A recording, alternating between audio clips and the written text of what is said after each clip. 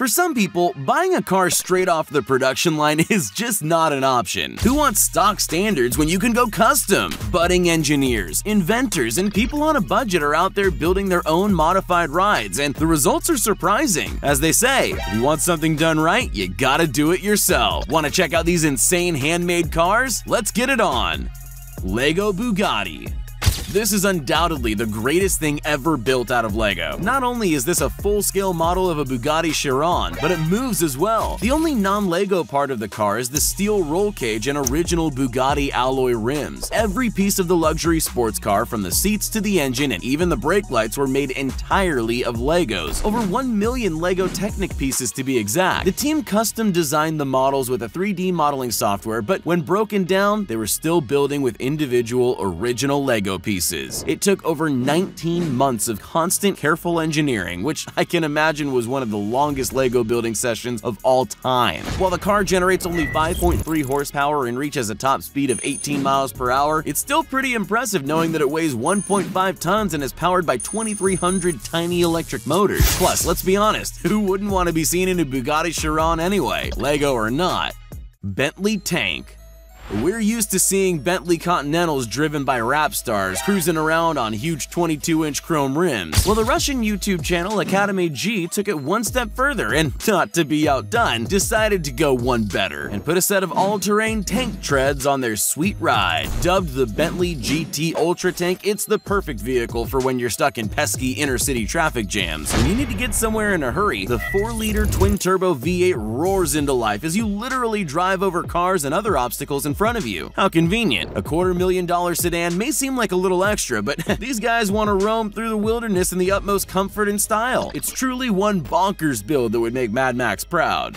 Lamborghini there are plenty of Russian billionaires driving around in Lamborghini Aventadors. For those who don't have a spare million lying around and want one bad enough, there's only one option remaining. Bust out the tools and make it. It takes a special kind of skill and know-how to forge an Italian classic supercar out of thin air, and Ilya Strzekalowski is one such man. The base of the imitation Lambo is the not-so-fancy Nissan Maxima. There's almost nothing left of the framework as Ilya took to it with a grinder and welder to make his dream a reality. The exterior panels are all custom made according to the exact dimensions of the original. An M70 BMW 5-liter V12 has been installed in rear engine configuration to add that little bit of authenticity. G-Wagon the Mercedes G-Wagon is an iconic ultra-luxury SUV that also comes with a hefty price tag. What do you do then when you lack the funds but have an abundance of another resource readily available all around you? A motoring enthusiast in Russia teamed up with a local ice sculpting company to solve this very problem. He used the chassis, frame, engine, and gearbox from an old UAZ 469 military truck and let the artist do the rest. The result? A fully functional imitation G-Wagon made entirely out of blocks of ice coming in at a chunk chunky 6 tons. Blue LED lighting makes the ice pop and adds that extra bling factor. Temperatures are well below freezing in this part of the world, so there's little chance of this beauty suffering the same melty fate as Frosty the Snowman. Cardboard Lexus just because you can do something doesn't mean you should. Lexus in Japan decided to try their hand at some next-level origami when they made an IS-300 purely out of cardboard. It took over 1,700 individually shaped and contoured 10mm thick sheets to create the fully functional replica of Lexus's best-selling saloon. The project took three months to complete, with each piece drawn in AutoCAD and precision laser cut to make sure the curves and contours of the car were spot on. It's not only the exterior exterior of the car. The seats, dashboard, and wheels are cardboard too. The electric motor, drivetrain, and headlights are the only parts of the car not made of cardboard. Although it's a cool concept, it's absolutely useless when driving in the rain and would end up a soggy, pulpy mess on the side of the road.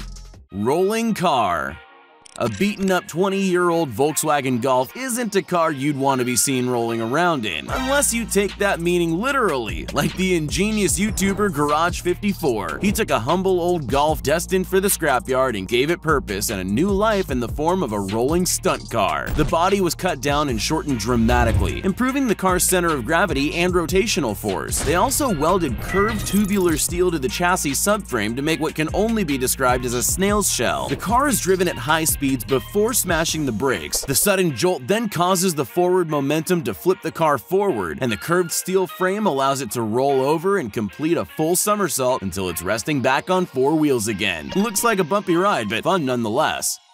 Ripsaw who says you can't have the best of both worlds? The uber rich no longer have to pick between speed, style, comfort, and safety, thanks to the insane brainchild of Howe and Howe. Each ripsaw is custom made for individual clients in what can only be called glamping in a tank. This is the fastest armored track-driven vehicle in the world. The older EV2 model features a 6.6-liter turbo diesel V8 motor putting out a mind-bending 700 horsepower and 975 foot-pounds of torque. It does 0 to 60 miles per hour in just 3.5 seconds. That's as fast as a GT500 Shelby Mustang. The newer EV3 prototype is even faster, shoehorning a 1500 horsepower Hellcat V8 for even more insane high-speed hijinks. Not only is it armor-plated, it can tackle any off-road terrain with ease. The downside is the $400,000 price tag, but if you're even considering getting one of these, it's likely that money isn't an issue.